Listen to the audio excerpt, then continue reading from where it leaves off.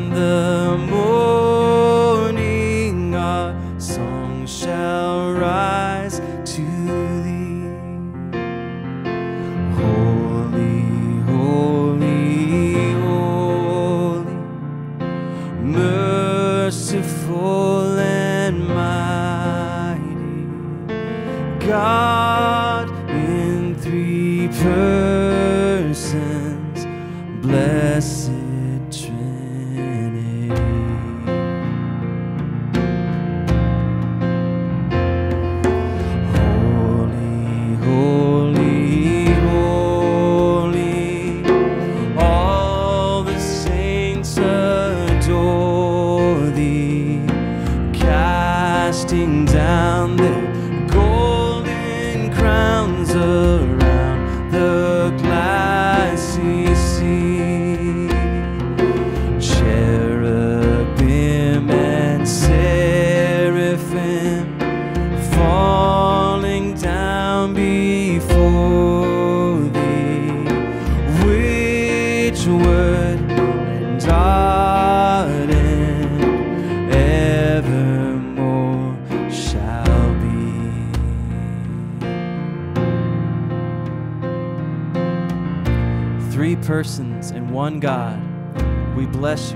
praise you for love so unmerited, so unspeakable, so wondrous, so mighty to save the lost and raise them to glory. Father, we thank you that in fullness of grace, you have given us to Jesus to be his sheep, jewel, portion. Jesus, we thank you that in the fullness of grace, you have accepted, adopted, bound us. Holy Spirit, we thank you that in fullness of grace, you have exhibited Jesus as our salvation, implanted faith within us, subdued our stubborn hearts, made us one with him forever.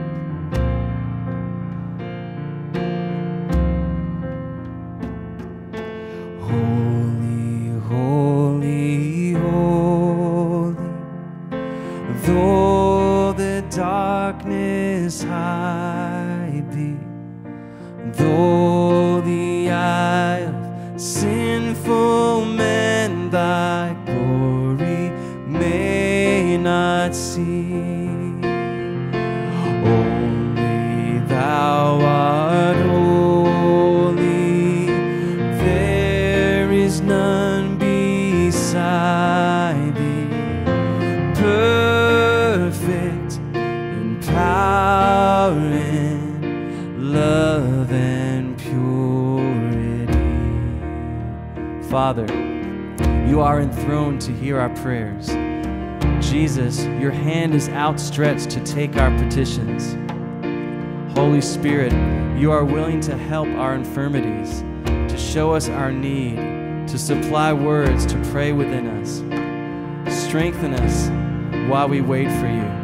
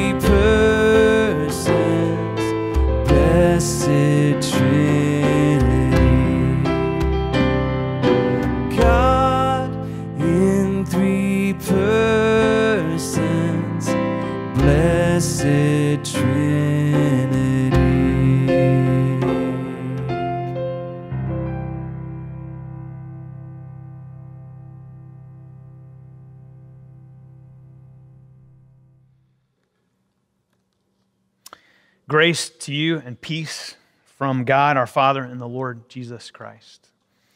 Let us humbly confess our sins to Almighty God. I want to invite you now to kneel where you are, if you're able to, or you can remain seated if you'd like to. And I'll provide a few moments to reflect on our need for the grace of God and His patient forgiveness for each one of us.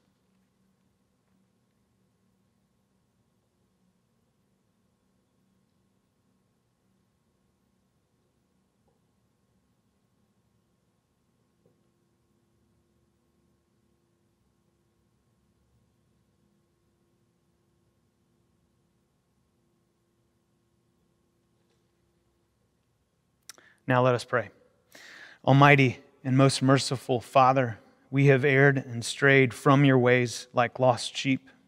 We have followed too much the devices and desires of our own hearts. We have offended against your holy laws.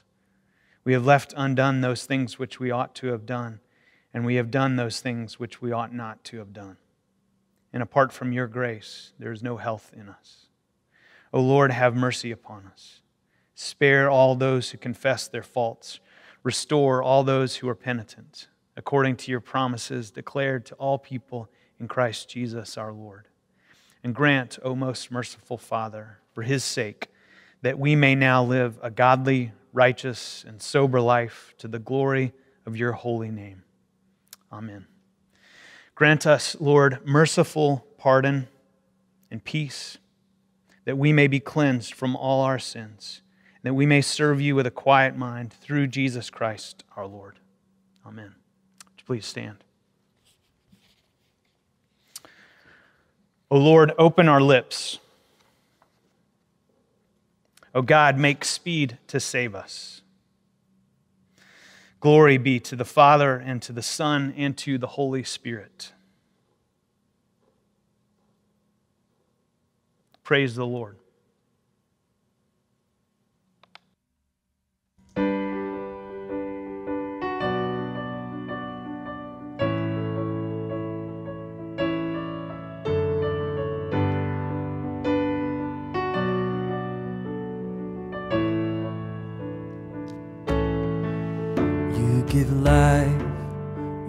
Love, you bring light to the darkness, you give hope, you restore every heart that is broken.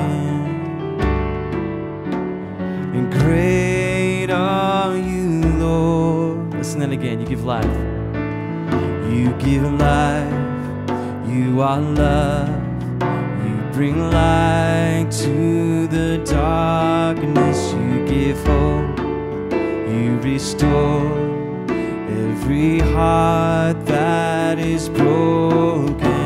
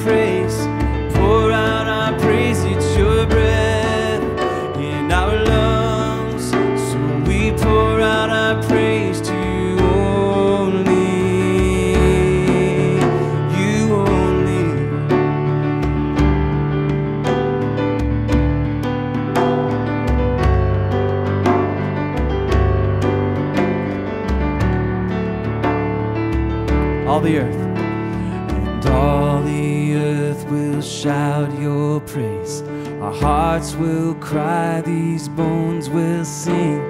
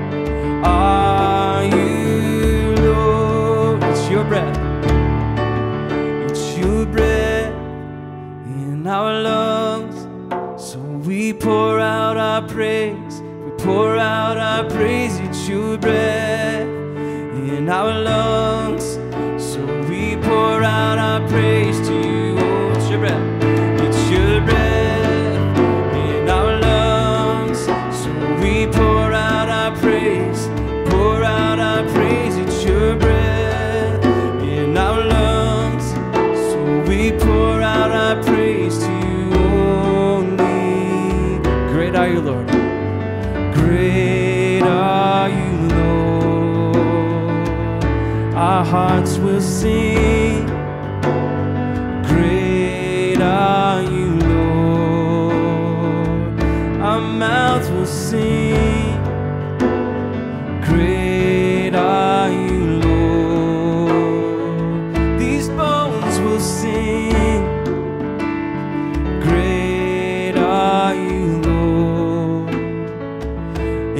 Church will sing. Great are you,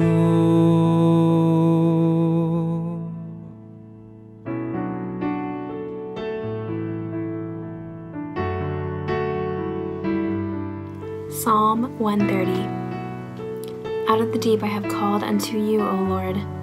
Lord, hear my voice. Oh, let your ears consider well the voice of my supplications. If you, Lord, were to mark what is done amiss, O Lord, who could abide it? For there is mercy with you, therefore you shall be feared. I wait for the Lord. My soul waits for him. and his word is my trust. My soul waits for the Lord, more than watchmen for the morning, more than watchmen for the morning. O Israel, trust in the Lord, for with the Lord there is mercy, and with him is plenteous redemption. And he shall redeem Israel from all their sins. Glory be to the Father, And to the Son, And to the Holy Spirit, As it was at the beginning, is now, and ever shall be. World without end. Amen.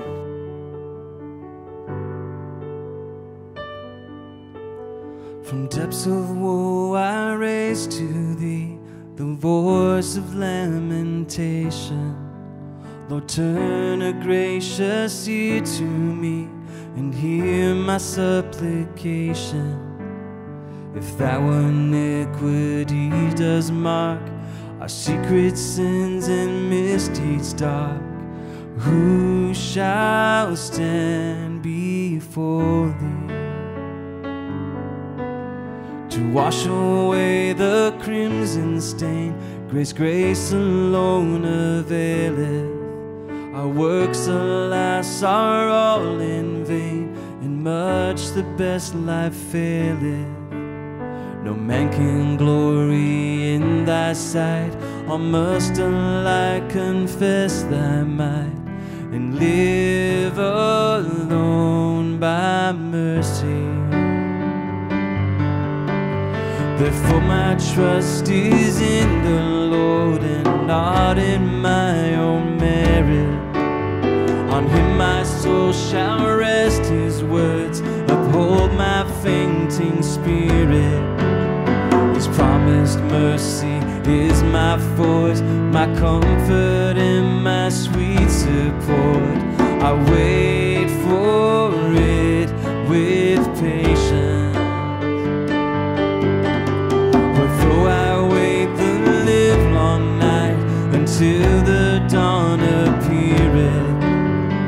heart still trusteth in his might, doubteth not nor feareth.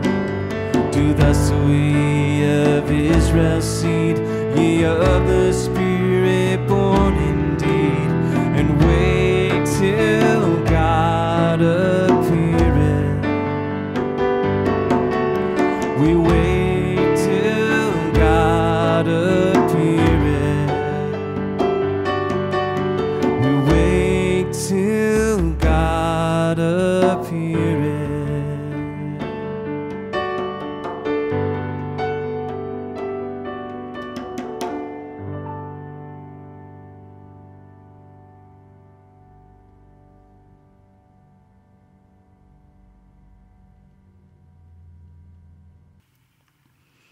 Today's scripture readings come from the book of Hebrews, chapter 3, verse 13, and chapter 13, verses 10 through 25.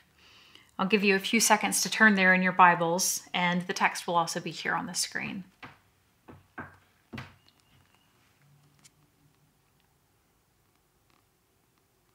Hebrews chapter 3, verse 13, and chapter 13, verses 10 through 25. But exhort one another every day, as long as it is called today, that none of you may be hardened by the deceitfulness of sin. We have an altar from which those who serve the tent have no right to eat. For the bodies of those animals whose blood is brought into the holy places by the high priest as a sacrifice for sin are burned outside the camp. So Jesus also suffered outside the gate in order to sanctify the people through his own blood. Therefore, let us go to him outside the camp and bear the reproach he endured. For here we have no lasting city, but we seek the city that is to come. Through him, then, let us continually offer up a sacrifice of praise to God, that is, the fruit of lips that acknowledge his name. Do not neglect to do good and to share what you have, for such sacrifices are pleasing to God. Obey your leaders and submit to them, for they are keeping watch over your souls, as those who will have to give an account. Let them do this with joy and not with groaning, for that would be of no advantage to you. Pray for us, for we are sure that we have a clear conscience, desiring to act honorably in all things. I urge you the more earnestly to do this, in order that I may be restored to you the sooner.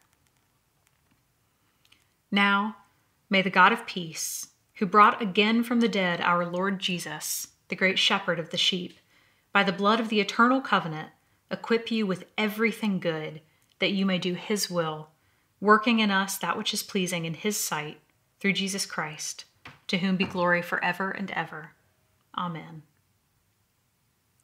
I appeal to you, brothers, bear with my word of exhortation, for I have written to you briefly.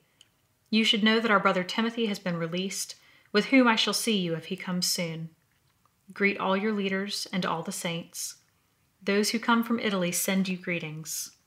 Grace be with all of you. The word of the Lord.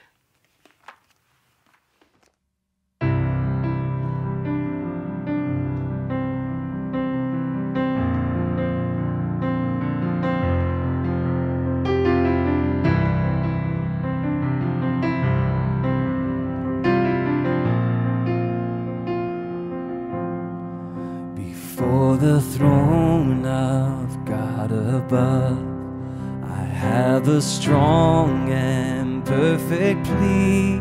A great high priest whose name is love, whoever lives and pleads for me.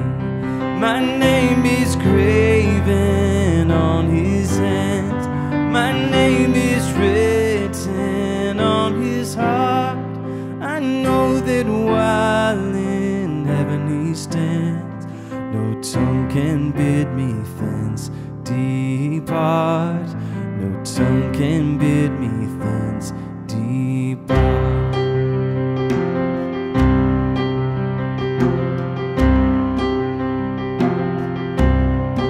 When Satan tempts me to despair and tells me Upward I look and see him there, made an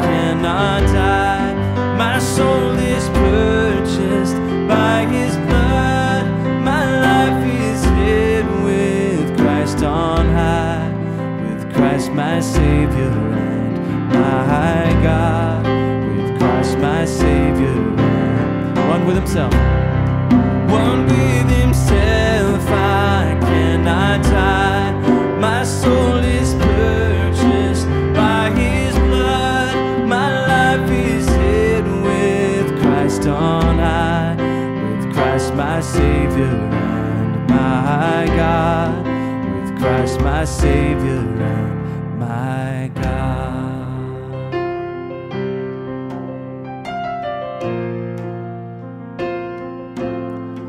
I bow before the cross of Christ and marvel at this love divine. God's perfect Son, the sacrifice, made me righteous God's eyes.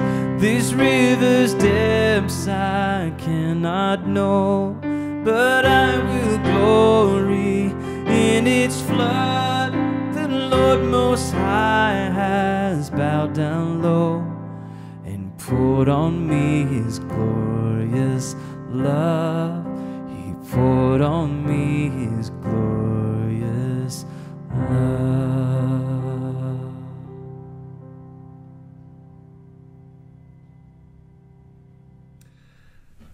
Grace to you and peace from God our Father and the Lord Jesus Christ. Amen. It's great to be with you again on this fifth Sunday of Lent. It's hard to believe that we're almost to Holy Week and we can't be together. This morning, early on Twitter, a friend of mine, David Taylor, tweeted that he had recently found his eight year old daughter, Blythe, hiding in her closet. He asked her what was wrong. She shouted, I'm sad and angry and confused. What about baby girl? David asked. I can't see my friends. I can't give them a hug. I hate this coronavirus. I'm so, so sorry, David said. Can I give you a hug? Yes, Blythe said. I'm sure many of us feel like Blythe these days. We'd love a hug, we'd love to give a hug, and yet we're cut off from our friends and loved ones, many of us. I don't mean to sound trivial or superficial, but uh, here on the last Sunday of our Hebrews series, I'd like to suggest that in, in a way, actually in a pretty profound way, Hebrews has been that for us, a kind of divine hug.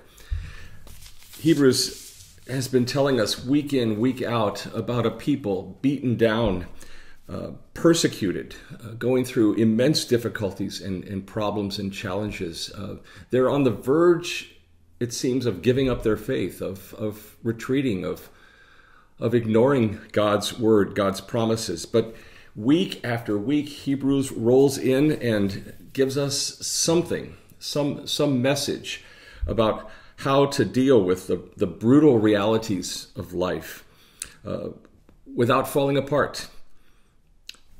So, again, today, it's no different as we conclude this series. The message from Hebrews today is, is so important, so vital for us, not just in this season, but in all seasons of our life. The message is this you've got to have a shepherd. You've got to have shepherding in your life. I want to pause just for a second and, and talk to the kids who are with us this morning. Uh, kids, while we're going to be talking about sheep and shepherds, and eventually we're going to talk about Jesus, the Good Shepherd. So while you're listening along with mom and dad, could you uh, go get a piece of paper and, and grab pencils or crayons or markers? And while I'm talking about sheep and shepherds, and while you're listening, uh, I'd love I'd love you to think about and imagine what sheep and shepherds look like. Okay, and could you draw that? And then um, maybe your mom or dad can help you scan that and send that to me or send it to the church office. And um, we're going to um, we're going to collect all those and we'll figure out a way to share those with the whole congregation. So can you do that? Thanks.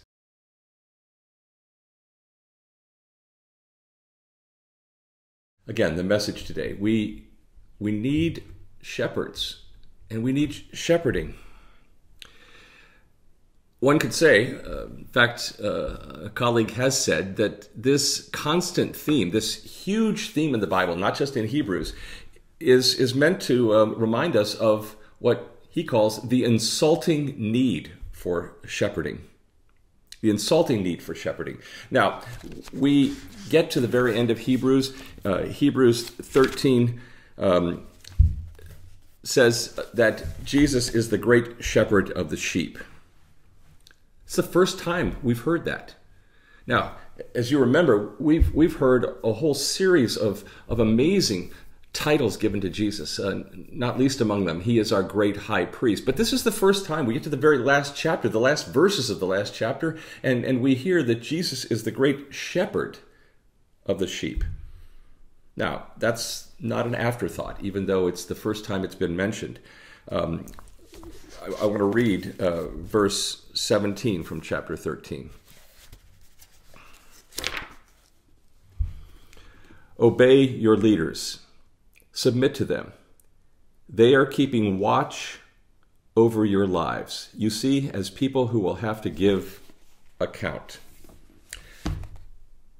We live in a structured community with those who watch over our lives. Those are our shepherds. We, we need shepherds, which is to say, and I know none of us likes to hear this, that means we're sheep. Yeah, we're his flock. Psalm 95, which Jonathan has used uh, the past several weeks as a, as a kind of call to worship. Um, Psalm 95 says, We are the people of his flock, the shepherd, the sheep of, of the shepherd. We're sheep.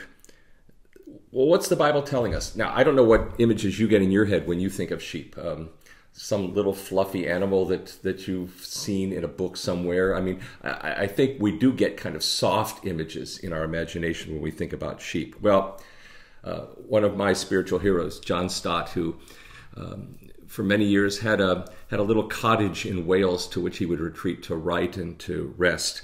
Um, had a neighbor uh, on, on, a farm uh, who introduced him to the realities of sheep. He said, Sheep are not clean or cuddly, they're dirty, they're infested with pests. They frequently have to get dipped in this sort of acid treatment to clean them up. Um, they're, they have lice and ticks all over them. They're dirty, they're lousy, and they're stupid. They're unintelligent and obstinate. That's, that's what sheep are dirty, lousy, stupid. Well, now, doesn't that just warm you up to, to be reminded that, that you're sheep? Well, think of other domestic animals by, by comparison, uh, dogs or, or whatever. If you set a dog loose in the wild, it, it will either learn to live in the wild or it will come home. Sheep can't do either. They die without a shepherd. Which is a good reminder because you can't be your own shepherd. That's the message today. We need shepherds. We need people around us who who share control of our lives with us. I, I know that's an alien thought to those of us who, who like to be in charge, especially, or, or all of us like to have what's the what's the big word of our culture? Autonomy. We, we like to manage our own lives. Well, we need shepherds. We need people to whom we're accountable. We'll die without shepherds. Now, I said before that uh, uh, one pastor has called this uh, an insulting need, and, and, yet it's it's true, it's well meant, and it's crucial to believe. It, it, may it may make us cringe a little bit to be reminded that we're sheep in need of a shepherd, but it's absolutely vital to our spiritual life. Well, that leads secondly to the question: Who should our shepherds be? Tim Keller has said with a wonderful phrase our shepherds should be, in the first place, our peers in grace. Our peers in grace. Let me read uh, chapter 3, verse 13, the, the beginning part of today's reading.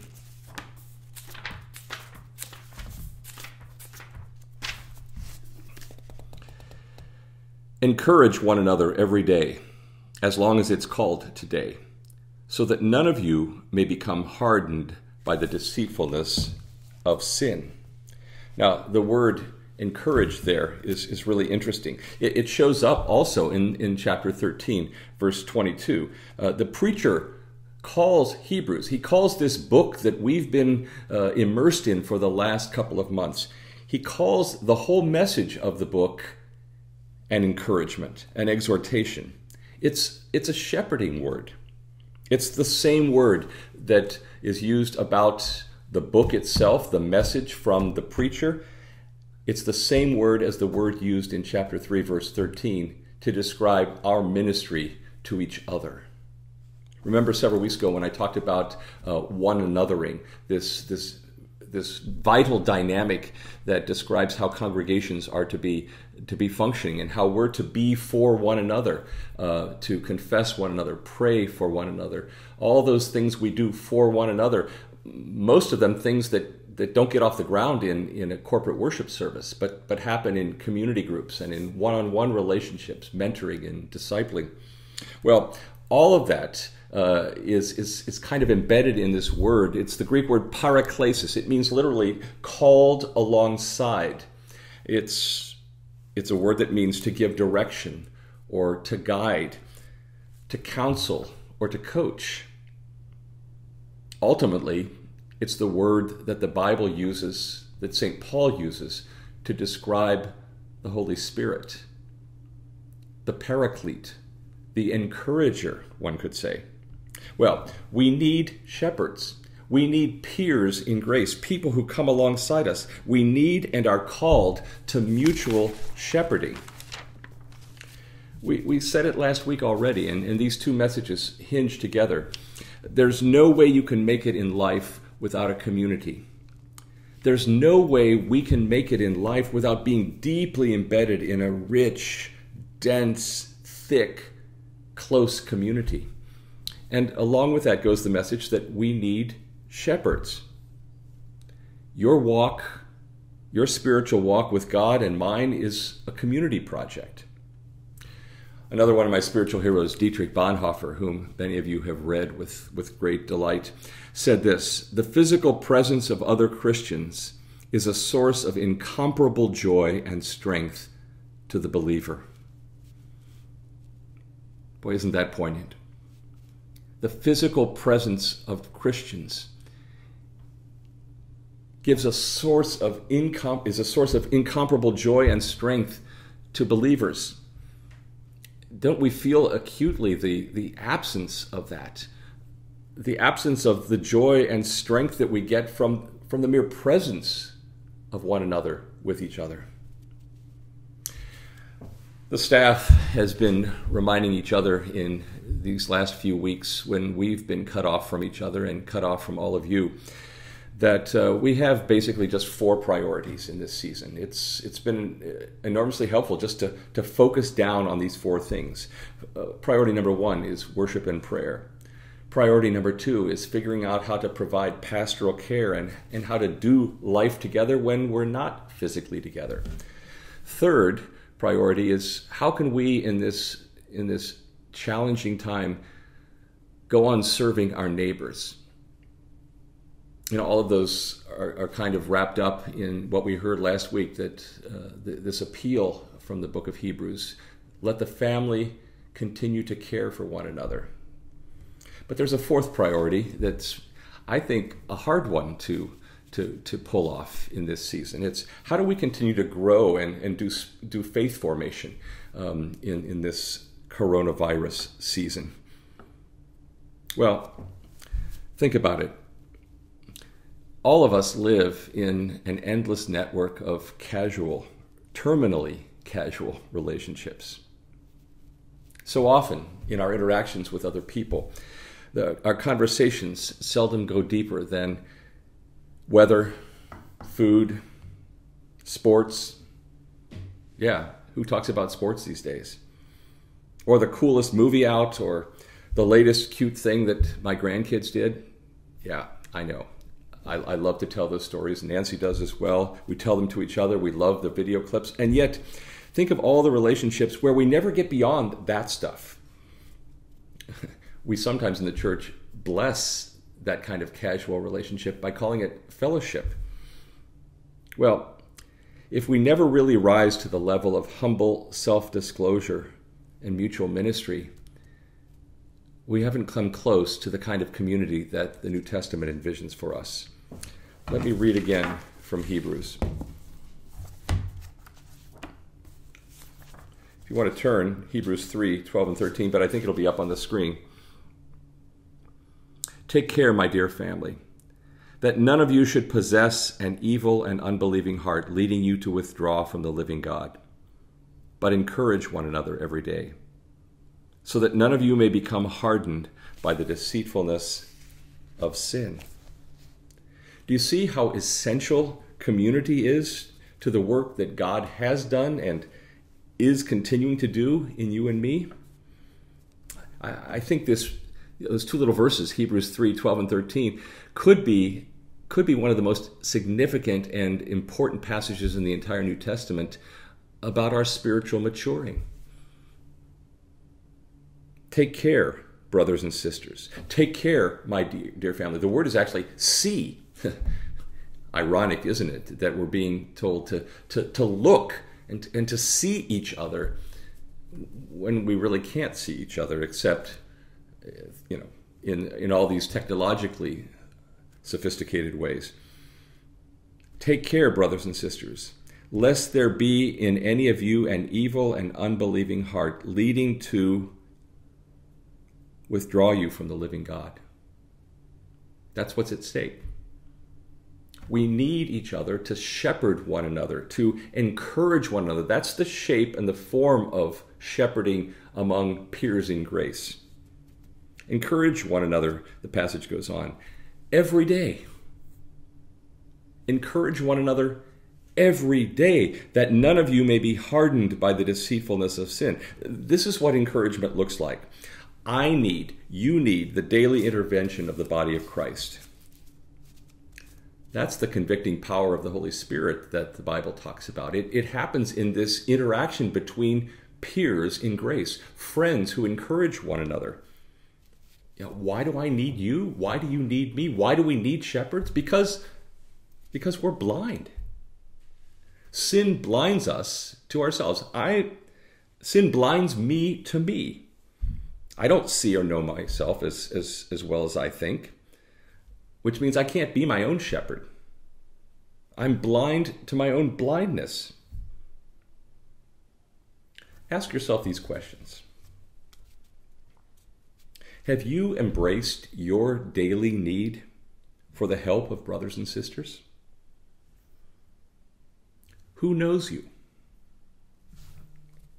Whom have you invited to intrude into your private space, to function for you as a shepherd, to be for you God's tool of forgiving and rescuing and transforming and delivering grace. Who do you have in your life who will point out your sin, your weakness, your failure? And if you have such a person, are you thankful when they do their shepherding work? Well, I'll confess. Nancy's a great shepherd for me. I mean, she she really is. She she knows me better than I know myself. She certainly knows me better than anybody else on the planet. Am I thankful when she calls me up short? Reminds me of my sin, my temptation, my foibles and flaws? Well, not always. But I should be grateful. I, should thank God for her because she's God's shepherd in my life. Yeah, maybe you're thinking, what qualifications do these other people have? I mean, what where do they get off trying to be my shepherd? What what what gives them the right? What gives them the ability to shepherd me? What are their qualifications? Simple. They're not you. I mean, listen to yourself. Watch yourself. Yeah. I did that last week after I recorded last week's message. It's it's painful to watch something so innocent as a as a recording, a video recording. Uh, we we don't sound the way we think. We don't look the way we think.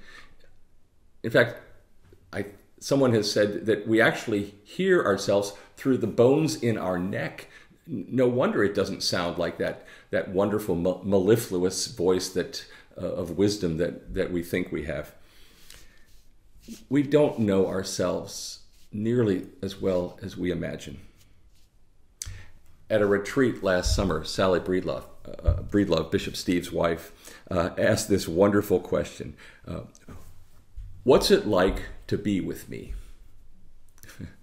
that's, a, that's an embarrassingly direct question. What's it like to be with me?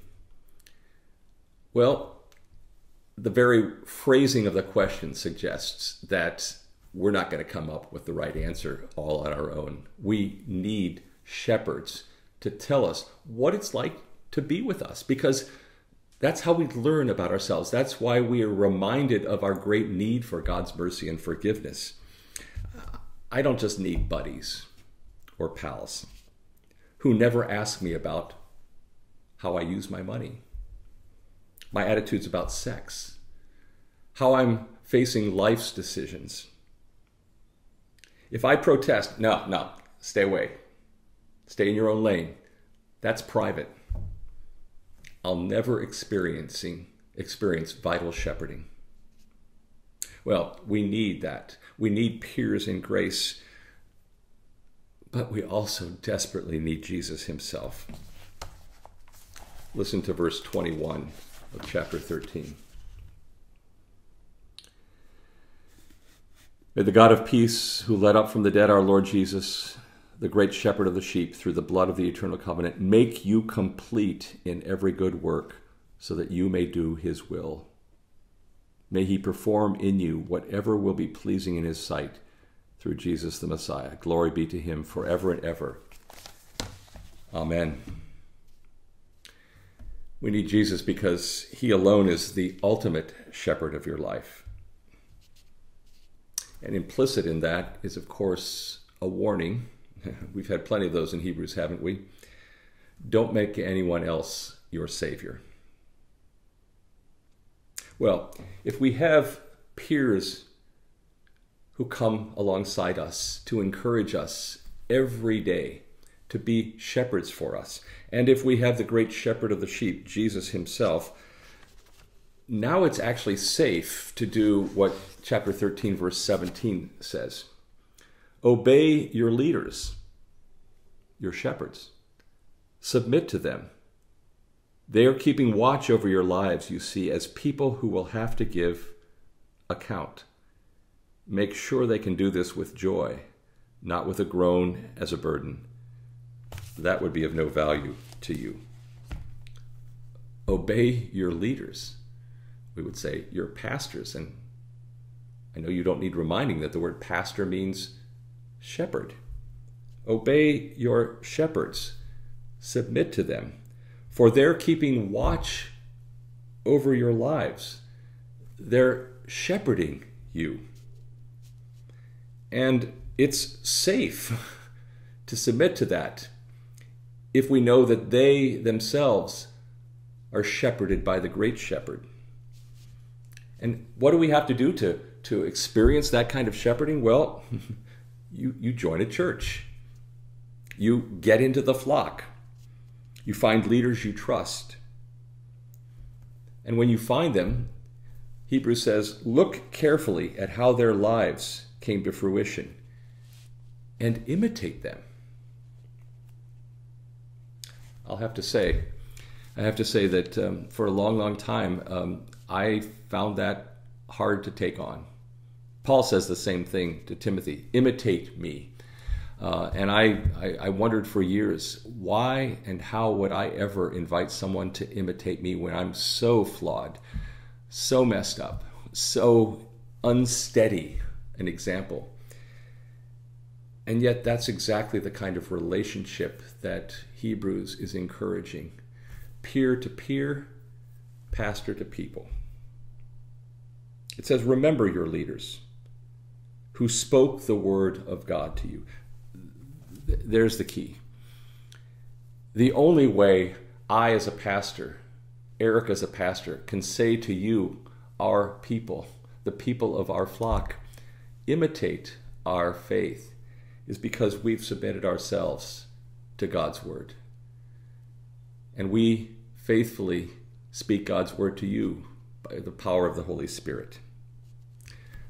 That's how shepherds lead. That's their only authority. That's what keeps them from being authoritarian. Well, in conclusion, look at this wonderful benediction at the end, verses 20 and 21.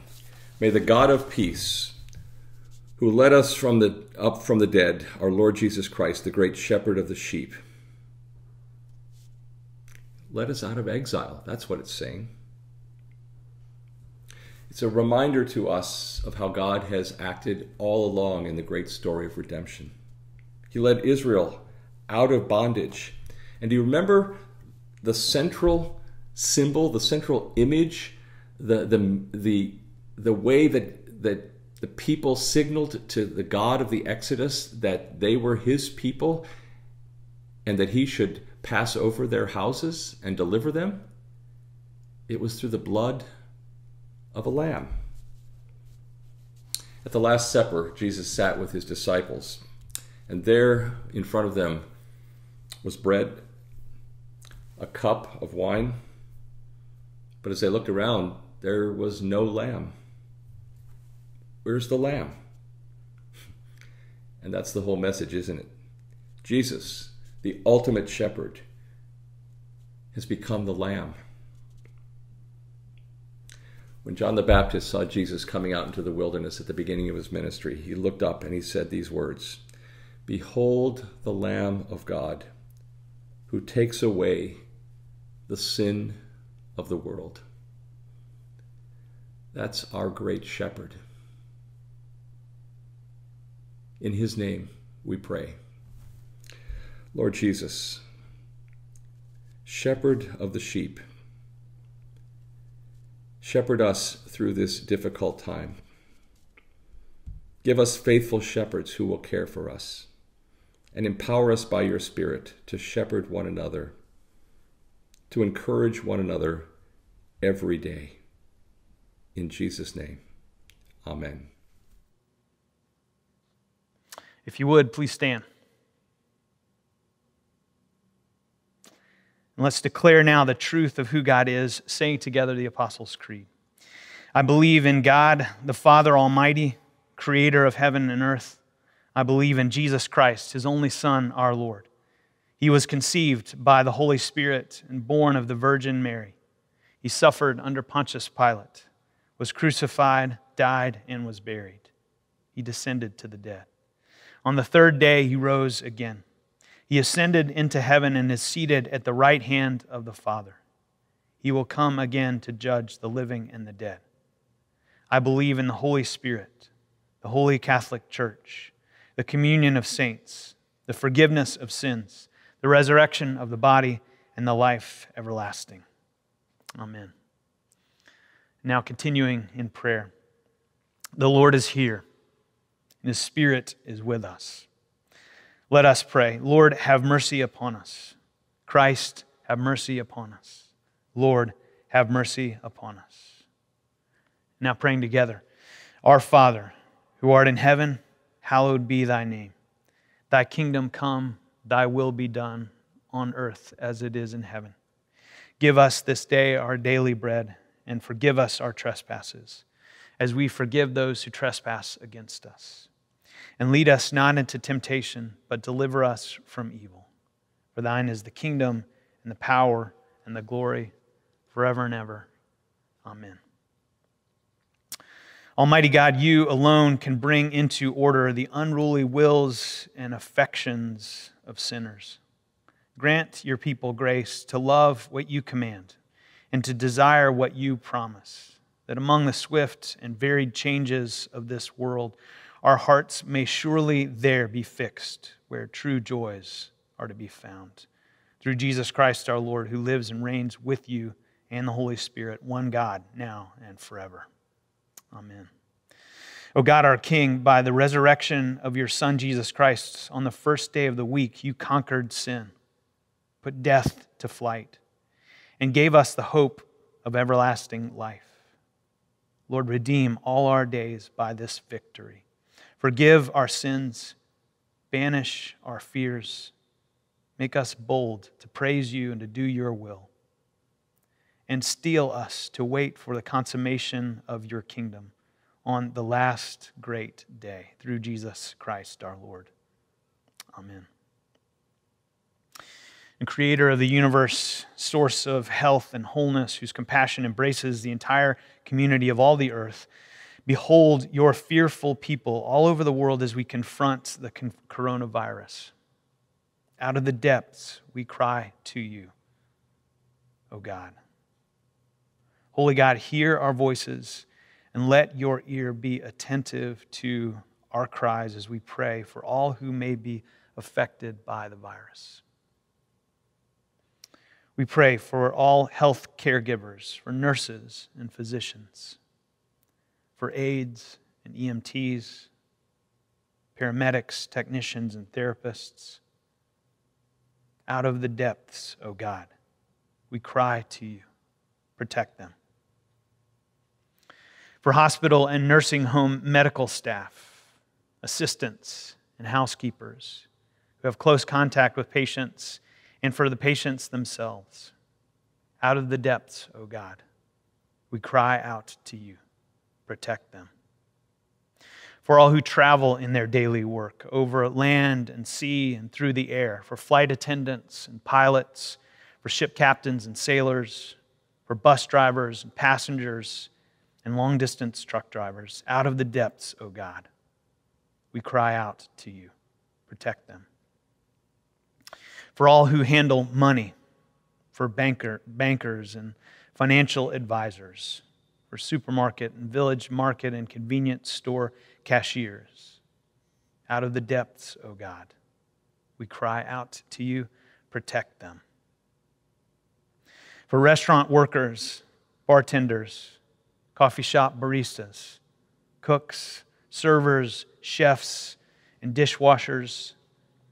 Out of the depths, O oh God, we cry out to you. Protect them.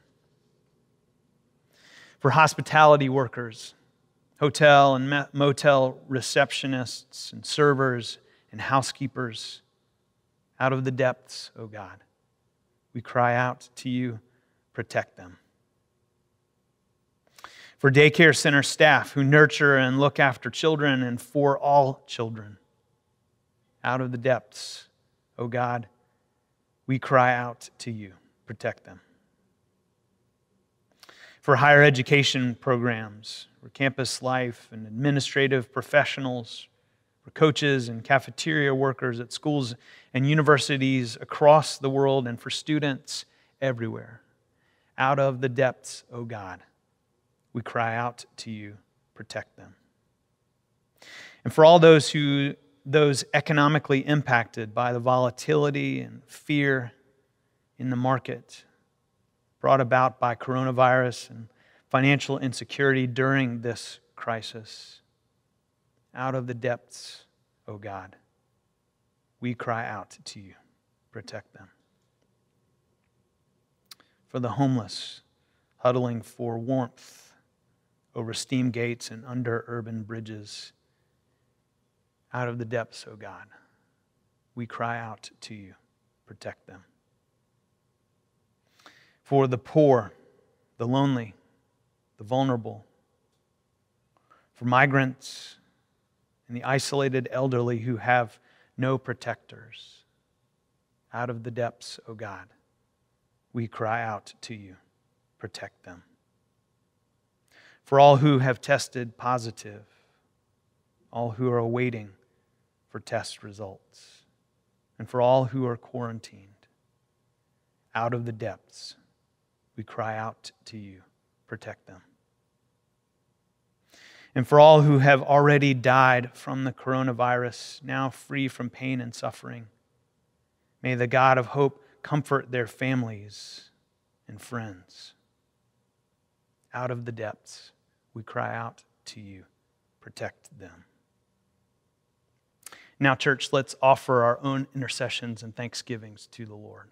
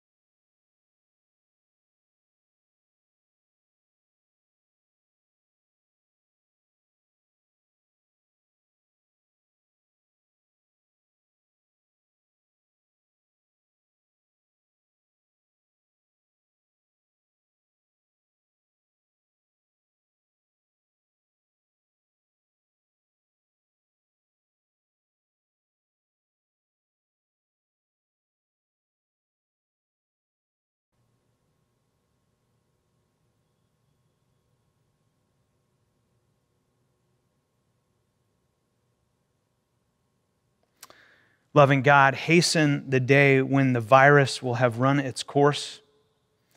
Quicken scientists to develop medications and vaccines. Give wisdom and strategic vision to all public and elected leaders in governments throughout the world. Call out the best instincts of your people love, neighborliness, compassion, and a sense of caring for every member of your beloved community on earth. We pray out of the depths to you, Father, Son, and Holy Spirit. Amen. Almighty God, you have given us grace at this time with one accord to make our common supplications to you. And you've promised through your well beloved Son that when two or three are gathered together in his name, you will grant their requests. Fulfill now, O Lord, our desires and petitions as may be best for us, granting us in this world knowledge of your truth, and in the age to come, life everlasting. Amen. Let us bless the Lord. Thanks be to God. Now may the God of peace, who brought again from the dead our Lord Jesus Christ, the, gr- the great shepherd of the sheep, by the blood of the eternal covenant, equip you with every good thing that you may do his will working in us that which is pleasing in his sight through Jesus Christ, to whom be glory forever and ever. Amen.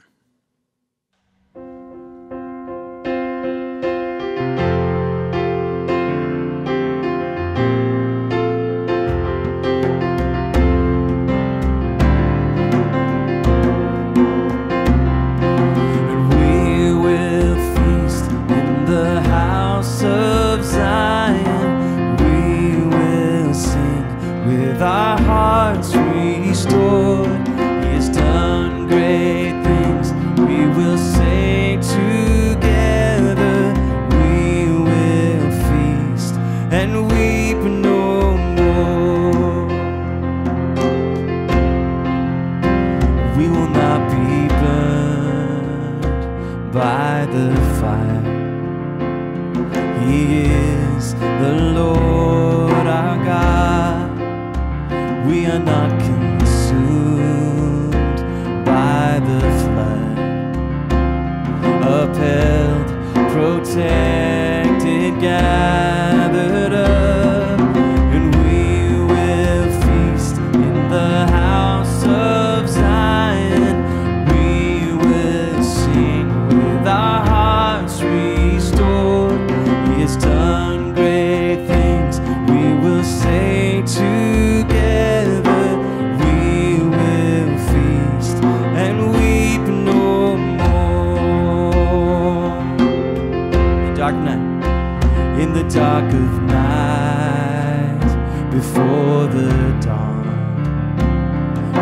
soul, be not afraid.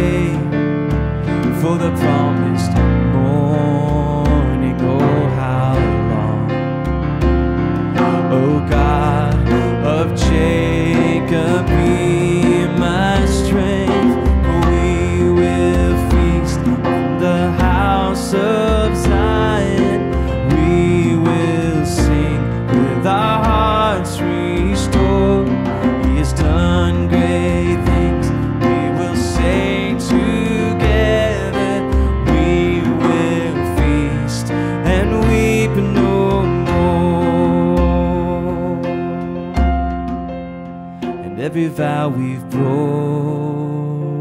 and betrayed.